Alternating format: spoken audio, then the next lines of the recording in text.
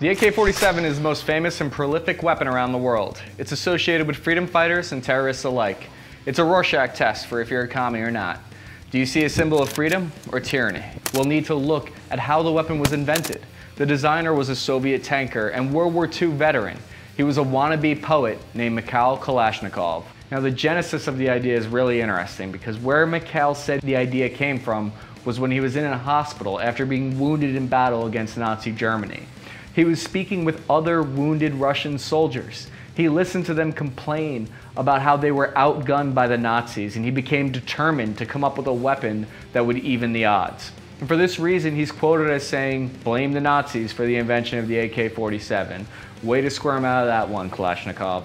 Pretty much all Soviet communist-made equipment I can think of has been inferior to the Western counterparts. And for years, the Soviets were plagued with a reputation for producing crappy goods. But lightning struck with the production of the AK-47.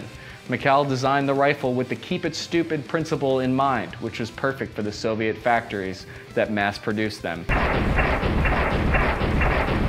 He struggled with the legacy of his weapon his whole life, swinging from pride to regret until he died in 2013. Mikhail Kalashnikov wanted desperately his whole life to be a poet, but he was cursed instead with a knack for designing weapons. Mikhail Kalashnikov grew up poor in Russia under the horrors of Stalin. Stalin seized power in 1929. He was following Marxist theory by naming any peasant with more than a couple of cows or five acres more than their neighbors a kulak, which meant an enemy of the people. Mikhail's father was named Timothy Kalashnikov, and he was then named by the Russian government as a kulak for resisting to turn over grain to the government. Timothy was sent to Siberia where he later died when Mikhail Kalashnikov was only 11 years old. I can only imagine what that did to him. Years later, Mikhail Kalashnikov would be awarded for creating the AK-47 with the Stalin Prize, an award named after the very man who killed his dad. Despite all this, Mikhail was always a patriot to Soviet Russia and was considered a huge hero by them. They've even made giant statues of him. Do we blame a weapon inventor, a 29-year-old sergeant in the Red Army, for creating something that ends up being used in the wrong hands? But if we can't attribute all the good karma of the people who were able to defend themselves thanks to the AK-47, then we can't attribute all the crimes of ISIS to him either.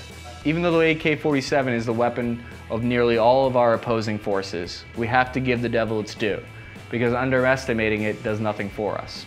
The AK-47 is no luxury rifle to be sure, and it isn't particularly known for its accuracy. It's best known for its simplicity and durability, which are important when you're trying to arm a large gaggle of untrained people to do your doings.